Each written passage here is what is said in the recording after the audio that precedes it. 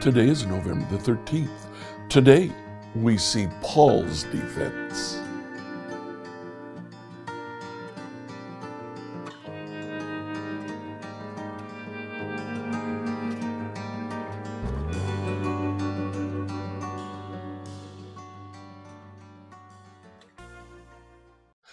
As you read through the Bible in a year, please read Acts 23 through 25. All three of these chapters, and indeed the next chapter, chapter 26, are Paul's defense before four different groups or individuals. In chapter 23, Paul goes before the Sanhedrin, the great council. As soon as he realizes he's standing before the Sanhedrin and that it's composed of Sadducees and Pharisees, he shouts out, I stand under judgment because I believe in the resurrection from the dead. Well, that was a key theological issue between the Pharisees and the Sadducees. And suddenly they begin to argue amongst themselves about resurrection from the dead. Chapter 24, Paul is brought before Felix. Remember, he is being held by Romans. So, in some way, shape, or form, he has to stand before the Romans. When he comes to Felix, he simply talks about his arrest, why he was arrested. Well, Felix hears him and uh, he says, I'll listen more later, and he puts him back in jail. This went on for two years. Felix would call Paul, talk to him, and then he'd send him back to jail. Uh, Luke says he was looking for a bribe. And this is very consistent with what we know uh, from external uh, sources about Felix. Uh, Felix was uh, born a slave, became a freedman, and eventually the governor of the area. Uh, he was incredibly cruel, incredibly corrupt, and always looking for a buck. Well, in chapter 25, he goes before Festus. Now, this would have put it around 58 AD. Festus hears Paul, and uh, he's he's a good guy. But uh, he says to Paul, you know what? This is an issue of Jewish matters. Uh, let's send you to Jerusalem to be tried there. Paul says, oh no. If I go to Jerusalem, I will simply be killed. There will be no trial. I appeal to Caesar. Now, uh, Nero was Caesar by this time. He was uh, newly appointed as Caesar. Claudius his uh, uh, uh, predecessor, was known for receiving all kinds of legal cases. He viewed himself as a lawyer, one who would mete out justice. So uh, Nero apparently at least continued that on in the early part of his reign. Paul says, I appeal to Caesar. So Paul heads off to Caesar. Enjoy today as you read Acts 23 through 25. Acts 23 through 25, New Living Translation, Acts 23. Gazing intently at the high council, Paul began, Brothers, I have always lived before God with a clear conscience. Instantly, Ananias the high priest commanded those close to Paul to slap him on the mouth. But Paul said to him, God will slap you, you corrupt hypocrite. What kind of judge are you to break the law yourself by ordering me struck like that?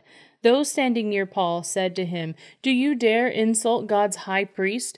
I'm sorry, brothers, I didn't realize he was the high priest, Paul replied. For the scriptures say, You must not speak evil of any of your rulers. Paul realized that some members of the high council were Sadducees and some were Pharisees. So he shouted, Brothers, I am a Pharisee, as were my ancestors, and I am on trial because my hope is in the resurrection of the dead. This divided the council, the Pharisees against the Sadducees. For the Sadducees say there is no resurrection, or angels, or spirits, but the Pharisees believe in all of these.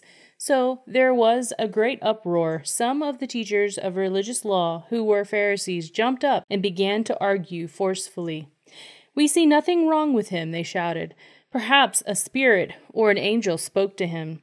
As the conflict grew more violent, the commanders were afraid they would tear Paul apart. So he ordered the soldiers to go up and rescue him by force and take him back to the fortress. That night the Lord appeared to Paul and said, Be encouraged, Paul. Just as you have been a witness to me here in Jerusalem, you must preach the good news in Rome as well. The next morning, a group of Jews got together and bound themselves with an oath not to eat or drink until they had killed Paul. There were more than forty of them in the conspiracy. They went to the leading priests and elders and told them, We have bound ourselves with an oath to eat nothing until we have killed Paul. So you, the high council, should ask the commander to bring Paul back to the council again. Pretend you want to examine his case more fully. We will kill him on the way. But Paul's nephew, his sister's son, heard of their plan and went to the fortress and told Paul. Paul called one of the Roman officers and said, Take this young man to the commander. He has something important to tell him. So the officer did explain, Paul, the prisoner, called me over and asked me to bring this young man to you because he has something to tell you. The commander took his hand, led him aside, and asked, what is it you want to tell me? Paul's nephew told him, Some Jews are going to ask you to bring Paul before the High Council tomorrow, pretending they want to get some more information. But don't do it. There are more than forty men hiding along the way ready to ambush him. They have vowed not to eat or drink anything until they have killed him. They are ready now, just waiting for your consent. Don't let anyone know you told me this, the commander warned the young man. Then the commander called two of his officers and ordered, Get 200 soldiers ready to leave Caesarea at 9 o'clock tonight. Also take 200 spearmen and 70 mounted troops. Provide horses for Paul to ride, and get him safely to Governor Felix. Then he wrote this letter to the governor. From Claudius Lysias to His Excellency Governor Felix. Greetings. This man was seized by some Jews, and they were about to kill him when I arrived with the troops. When I learned that he was a Roman citizen, I removed him to safety. Then I took him to the High Council to try to learn the base of the accusations against him. Soon I discovered the charge was something regarding their religious law. Certainly nothing worthy of imprisonment or death. But when I was informed of a plot to kill him, I immediately sent him to you. I have told his accusers to bring their charges before you. So that night, as ordered, the soldiers took Paul as far as Antipatris. They returned to the fortress the next morning, while the mounted troops took him on to Caesarea. When they arrived in Caesarea, they presented Paul and the letter to Governor Felix. He read it and then asked Paul what province he was from. Cilicia, Paul answered. I will hear your case myself when your accusers arrive, the governor told him. Then the governor ordered him kept in prison at Herod's headquarters. Acts 24. Five days later, Ananias the high priest arrived with some of the Jewish elders and the lawyer Tertullus to present their case against Paul to the governor. When Paul was called in, Tertullus presented the charges against Paul in the following address to the governor You have provided a long period of peace for us Jews, and with foresight have enacted reforms for us. For all of this, Your Excellency, we are very grateful to you but I don't want to bore you, so please give me your attention for only a moment.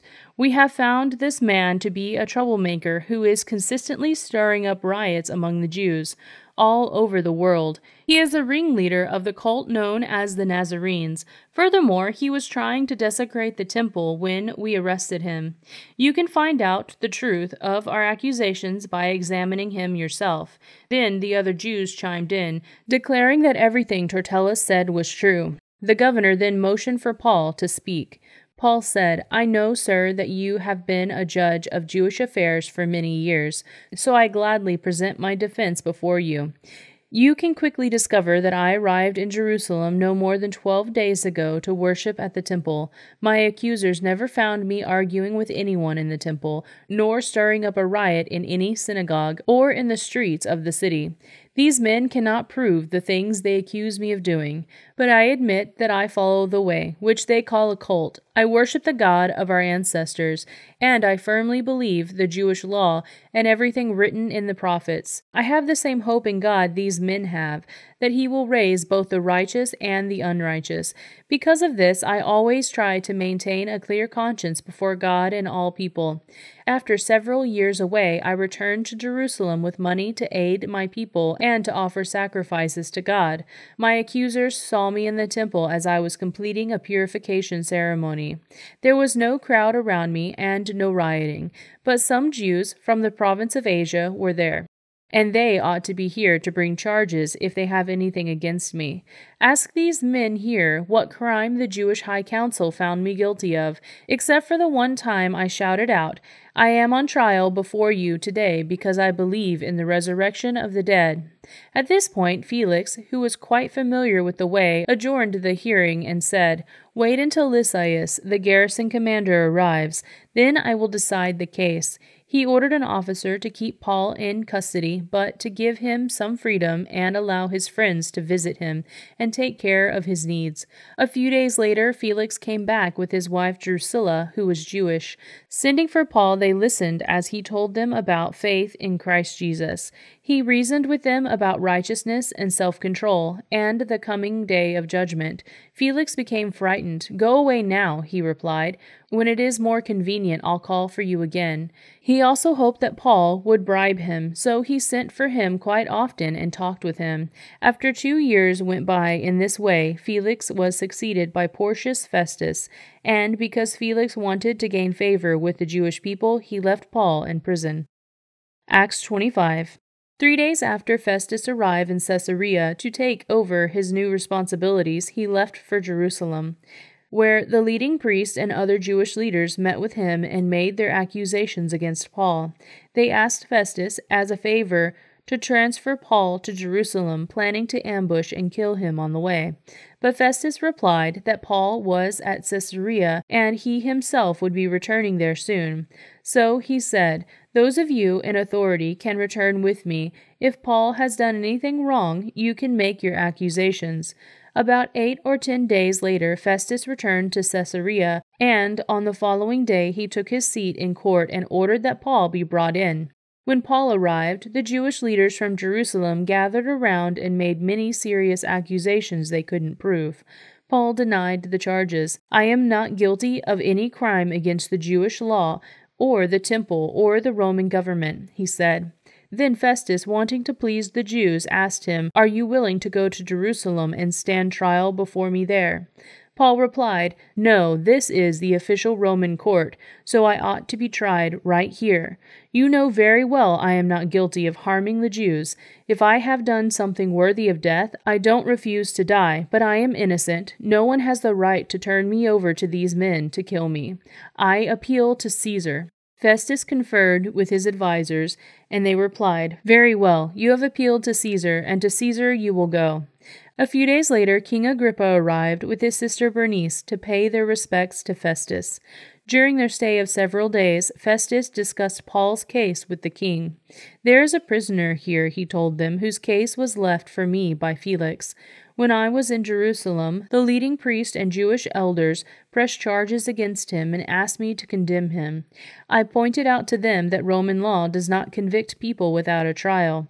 They must be given an opportunity to confront their accusers and defend themselves. When his accusers came here for the trial, I didn't delay. I called the case the very next day and ordered Paul brought in. But the accusations made against him weren't any of the crimes I expected. Instead, it was something about their religion and a dead man named Jesus, who Paul insists is alive.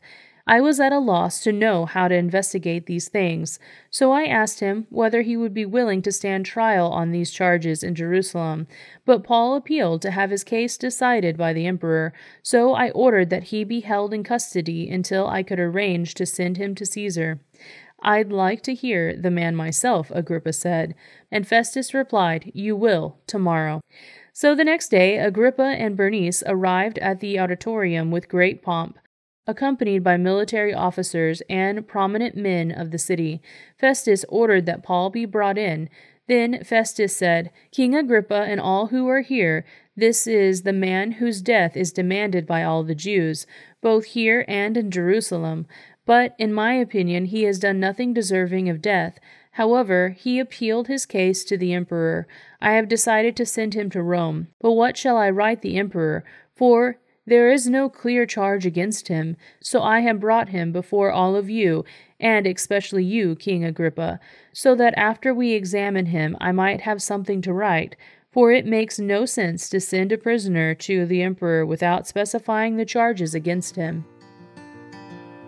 Scripture reading from the New Living Translation by Emily Herrera. Like, follow, and subscribe to this devotional on whatever platform you use to listen to it.